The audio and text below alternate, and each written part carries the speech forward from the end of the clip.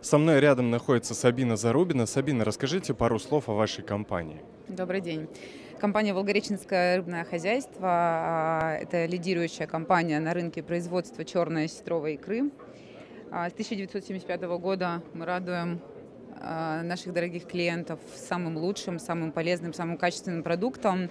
В год мы производим более 15 тонн черной осетровой икры, стерляжей, осетровой и белужьей в том числе. Ну и уникальность нашего продукта заключается в его качестве, соответствии всем требованиям э, стандартов ГОСТ. Ну и просто во вкусе в шикарном. Какие цели вы перед собой ставите на выставку Продэкспо?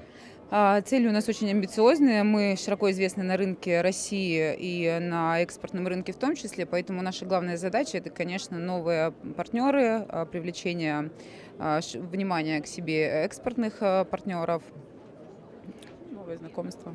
Как у вас обстоят дела на четвертый день выставки? Были ли уже налажены какие-то контакты, связи?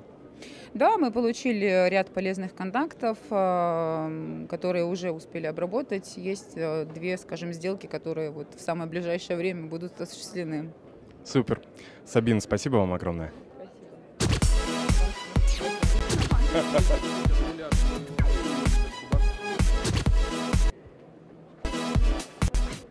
Да? Ну, пока.